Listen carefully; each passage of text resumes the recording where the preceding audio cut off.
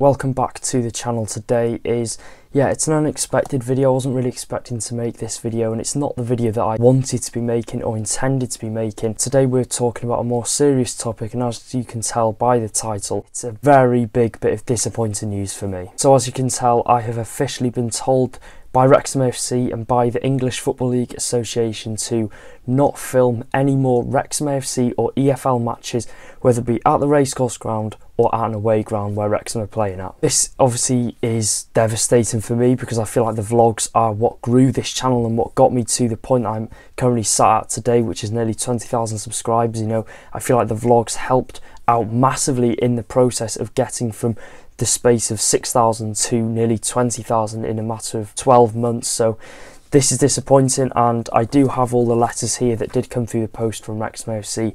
I'm just going to be reading through them just so you know everything that is going on and what the situation is regarding me filming. So we're going to get straight into the first letter which was attached with the letter I received on the 23rd of October. Now, this letter was supposedly sent out on the 13th of September. Now, bearing in mind, I had not had a letter from Wrexham AFC. No letter had come through on the 13th of September regarding filming. Now, this was, I think I found out it was three days after the Grimsby game, and I would know if there would have been a letter through the door because it would have been addressed to me. And it says on the one that they sent on the 23rd, it says, following on from the letter that I issued on the 13th of September that I enclose, it has once again come to my attention that filming has continued by yourself at recent fixtures. So what I need to make clear is I did not receive this letter that was supposedly sent to my address on the 13th of September. And it says on the letter both warnings have been placed on file. So if I didn't receive the first letter, how was I supposed to know that I should have stopped filming? We'll just go back to reading the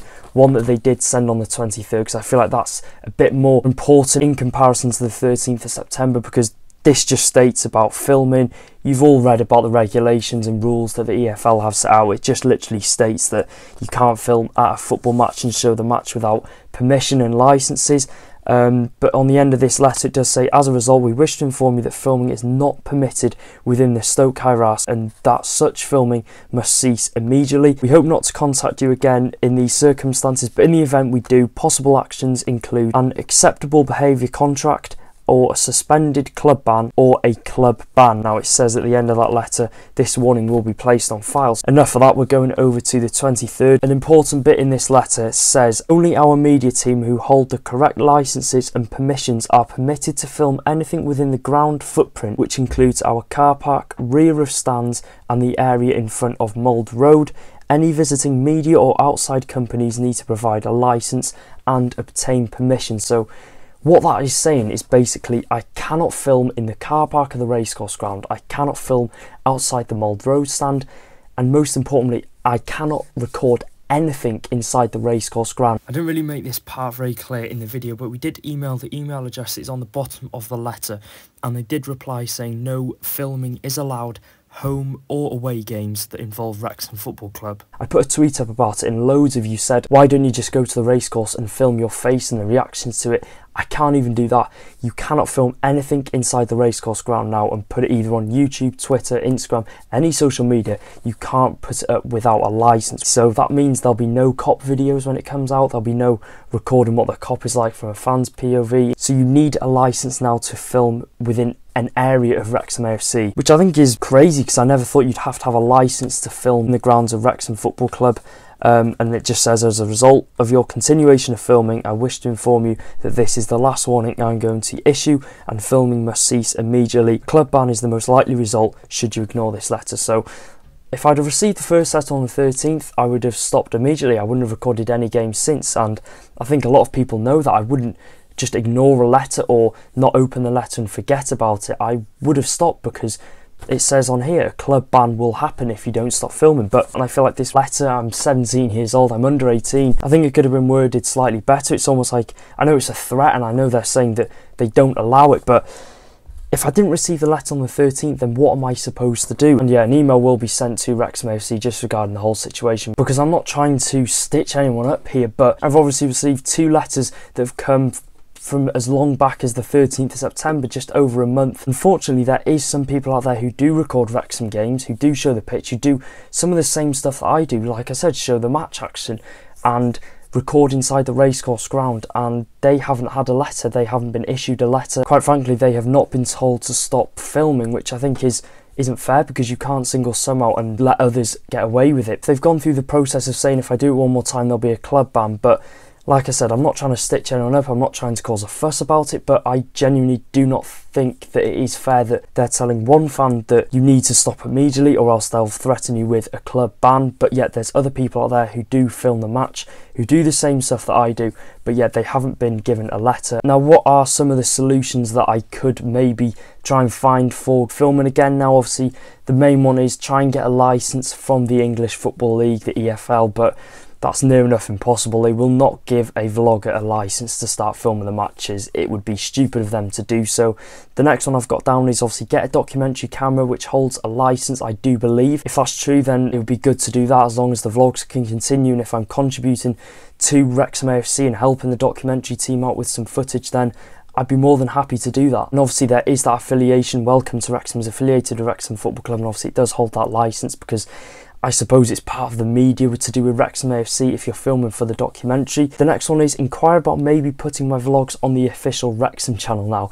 This is a bit of a push, obviously Wrexham AFC have got over 100,000 subscribers and they're more than happy with what they do at the minute. They've got Mark Griffiths doing his Dragon Heart. They put the match highlights out, the interviews, etc. But I've seen Bromley do it with a young fan. He puts his vlogs on the official channel, which I think is great. And it would mean that the vlogs can continue to be put out because not to be big headed or anything, but there's thousands of people out there who are disappointed, obviously, to see that the vlogs have to stop. And there's thousands of people that do enjoy the vlogs that I do produce. And if there's a way in which this could happen, it'd be incredible. I would just want them to be up on YouTube for the fans to enjoy, for the fans to feel as if they are sat inside that racecourse ground, feeling what the atmosphere is like, seeing the action from a fan's point of view, just seeing everything from a fan's point of view. And to take that away, that's obviously a big downfall, and we don't really get to see that happen as much because obviously there won't be vloggers, we won't be able to see what it's like from a fan's POV. But obviously, Wrexham do hold licenses for filming and to film the match footage. And the final one is inquire by the EFL about possibly changing this rule.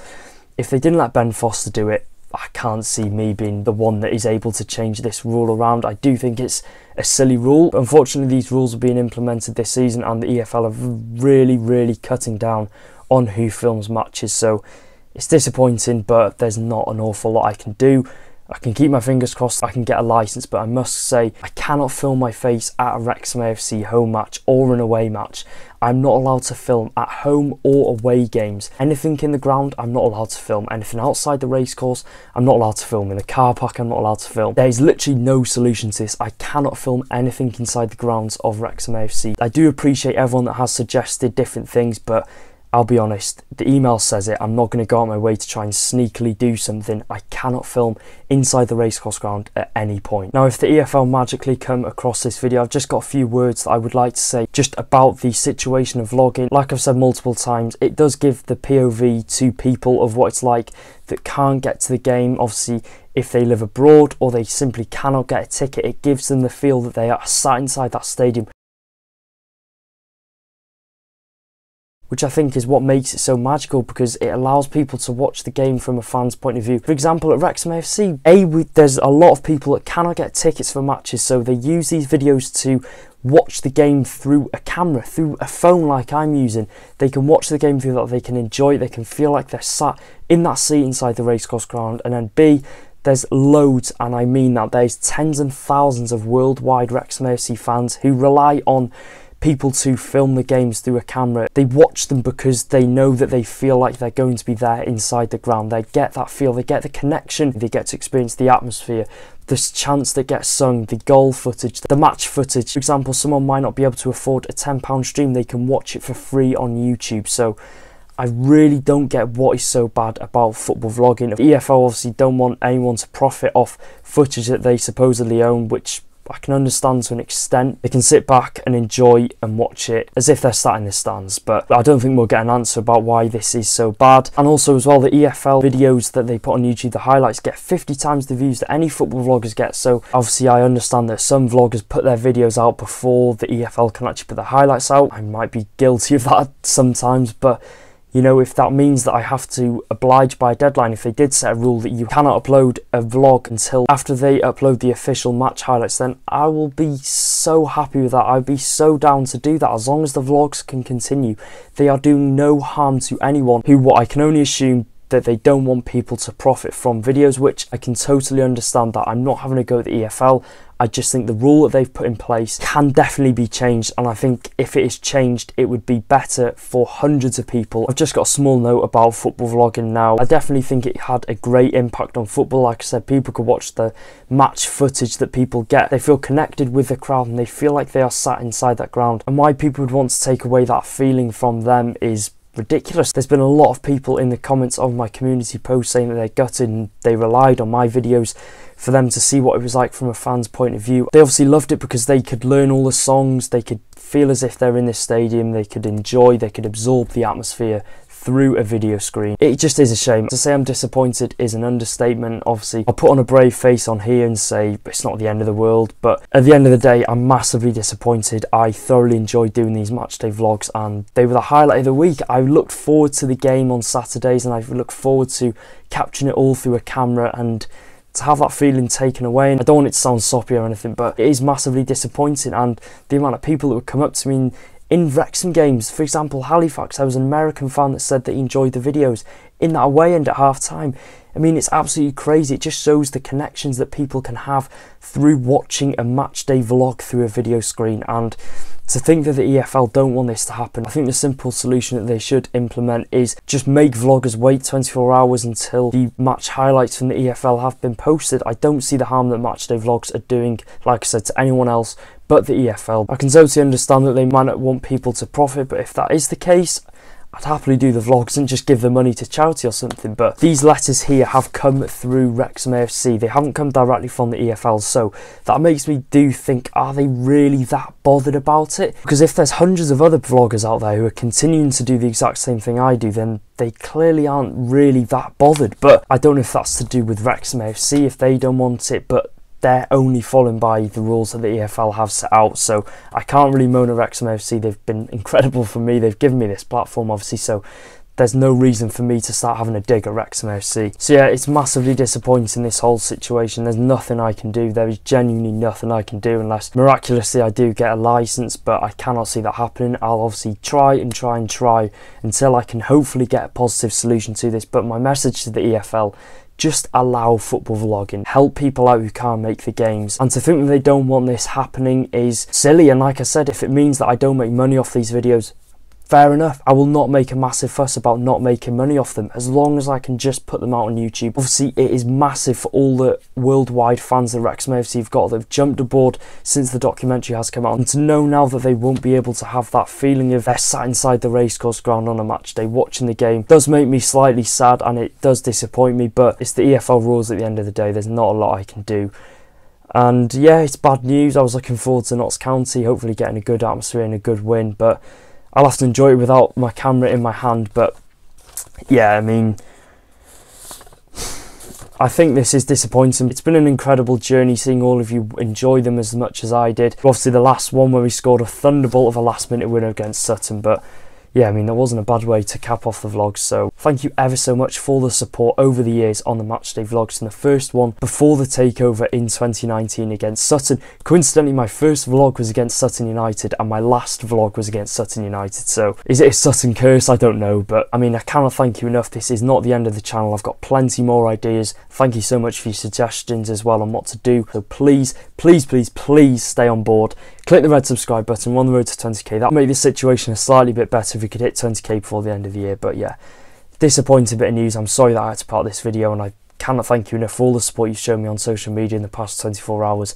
Let's keep our fingers crossed that there's hopefully, miraculously, a way that I'm able to get a license and I'm able to bring back the matchday vlogs. And yeah, thank you so much for your support and I'll see you in the next video. Take care guys, up the town.